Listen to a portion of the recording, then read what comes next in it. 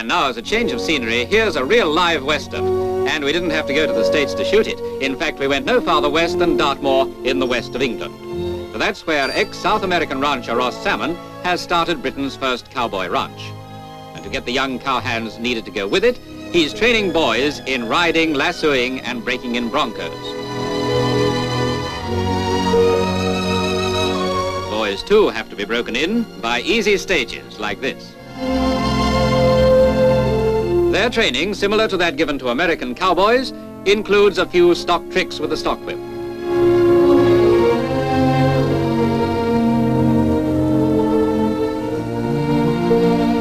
When the boys are heading for that first roundup, or even their last roundup, they'll find a lasso useful. Among other things, it'll help them to pull cattle out of bogs. He's explaining that the cattle have to be rounded up daily and brought back to a central point. Otherwise, they'll wander away at the rate of four to five miles a day.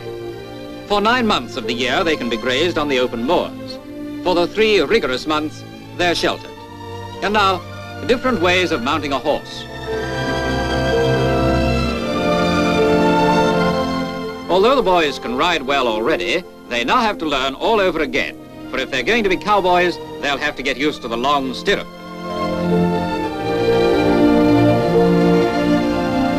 It's because of the long stirrup, less tiring than the ordinary kind, that a cowboy can stay in the saddle all day.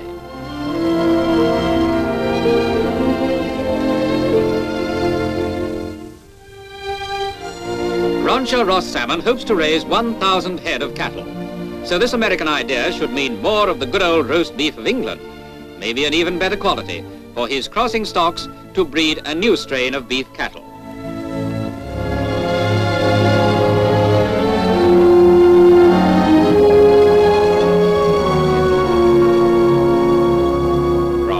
To mutton. The boys help Farmer Ball to round up his sheep. All livestock must now be removed to a safe area. Soon there'll be more shooting on this Devon range than on any range in the wild and woolly West. For with the Army taking over for temporary maneuvers, it now becomes the Okehampton firing range.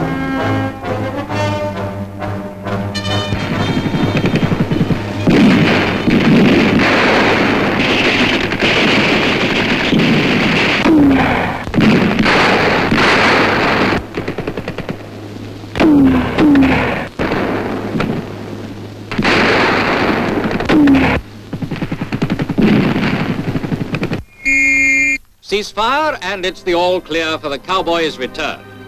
These new cowpunchers haven't so much as a six-shooter between them, but ex-Naval Commander Ross Salmon did his fair share of shooting years ago.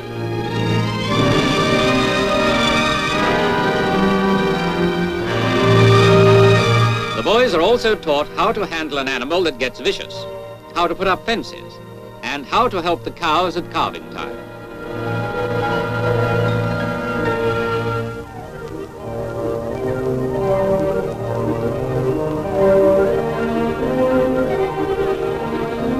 Setup's complete down to a campfire. Of the ten boys, only the best four will qualify for life on the Dartmoor Prairie, but right now, all of them seem pretty much at home on the range.